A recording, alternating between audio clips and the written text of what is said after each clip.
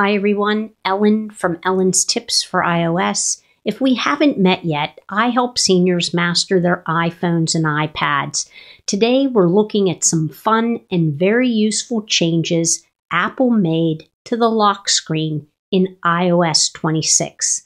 That's the screen you see before you unlock your iPhone. There are five big changes, and I'll show you how they work step by step. Let's get started. The first new feature is called the Liquid Glass Clock. Apple gave the numbers on your clock a fresh look. Instead of solid numbers, you can choose this beautiful glass style that looks like it's made of water or crystal. So, to try it out, you're going to need to customize the lock screen. So, I'm on the lock screen right now. If I push and hold on an area of the lock screen, I should get the option to customize. So I'm going to choose customize at the bottom. And now you'll see I have some things highlighted here with boxes. I'm going to tap on the clock. And at the very bottom, you're going to see two choices. The default choice before was solid. Go ahead and choose glass and once you do, you'll see the change. It becomes a little bit more transparent. You can change the color if you want to. You can change the look of the clock if you want to. So you can choose to do whatever you want. And once you're finished, we'll tap on the X and we'll go ahead and tap on done. It's simple and it makes your lock screen look more modern and elegant. So now when I get to this section, I just have to tap on the lock screen and it'll bring it to full screen. The second feature is widgets. Those little bits of information like weather, calendar, or battery percentage. In iOS 26, you can move them lower closer to the bottom of your screen. Why is this helpful? Well, if you have smaller hands or you just don't feel like stretching with your thumb, this makes it easier to reach. Again, we need to get into the customization area. So we're on the lock screen. I'm going to push and hold towards the bottom of the lock screen so that I come into the customization area. I'll go ahead and I'll tap on customize and now you'll see this widget box right underneath the clock. And if I just grab a hold of it with my finger, I can drag it now down to the bottom. Nice and easy so you can make it a little bit easier for you to use. If you're unfamiliar about how to use the widgets or how to add widgets, I have a video on that and I'll put a link to that in the video description. Third, Apple finally lets us make the clock bigger. This is a wonderful improvement for those of us who like large, easy to read numbers. When you're editing your lock screen, look for a handle in the corner of the clock. So I'll push and hold on the lock screen to come into the customization. I'll go ahead and I'll tap customize and you'll see this handle you can drag it down to make the clock larger. The numbers will grow. Now, one note if your wallpaper photo has a face or subject right at the top, the option may not appear, but with most photos, it works beautifully. Go ahead and give this a try. Feature number four is called Spatial Scenes.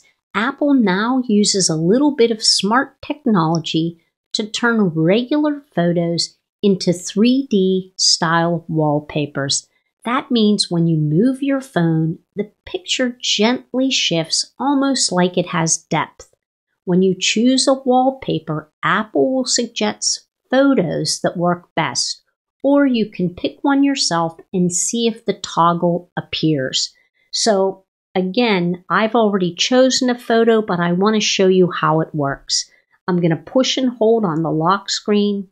I'll tap on customize. Your options will appear.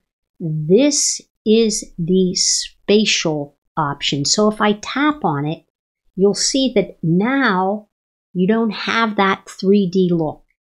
If I tap on it again, and if I were to move my iPhone, and it's really hard for you to see it here, so I'm not even going to bother, but it kind of gives it a 3D look.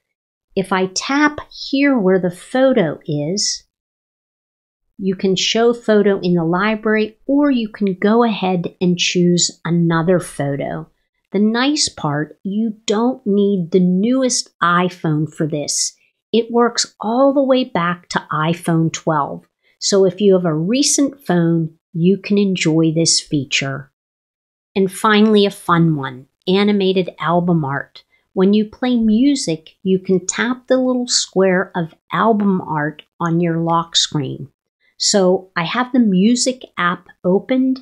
To get to the lock screen, you want to swipe down from the middle of the top of the screen, just kind of swipe down to come into the lock screen in the notification center. And you'll see that the music is here in a little square. If I tap on the album art, I'm going to swipe down a little bit so that you can see it, it expands and even animates, making listening feel more immersive. Right now, it works best with Apple Music, but Apple says more apps like Spotify will get it too. Not every song has animations, but when it does, it's very cool. A little quick tip so when you're done and you don't want to see the animation anymore, if I just tap on it, it goes back to the lock screen and you can see uh, the music app playing there. If I want the animation to come back, I just tap on the square and the animation will begin again. So if you want to get out of it, just tap anywhere where the animation is and it'll bring you back into the lock screen. A few helpful things to remember. Some options depend on the photo you're using. So if you don't see the bigger clock option, you're not seeing the handle uh, to drag the clock to bigger, or the spatial scene isn't available, try a different picture. So I'm in the Photos app to find a uh, picture that works well with spatial scenes you'll see this little option right underneath the three dots. If I tap on it, you'll see that it becomes a spatial photo. So all you have to do is just make sure to tap on that and that photo will be available for a spatial scene. After you update your, your uh, phone to iOS 26, your phone may run a little warm or the battery may dip for several days, that's normal. It's just finishing the setup. And don't worry if your music doesn't animate yet. More songs will support that option soon. So those are the big lock screen updates in iOS 26. The liquid glass clock, widgets you can move down, bigger clock numbers, 3D styled photos, and animated album art. I think the bigger clock and movable widgets will be very useful for seniors, but I'd love to hear what you think. Which of these features will you try first? Let me know in the comments. If you found the video helpful, give it a thumbs up and subscribe to the channel. Thanks so much for watching. I'll see you next time.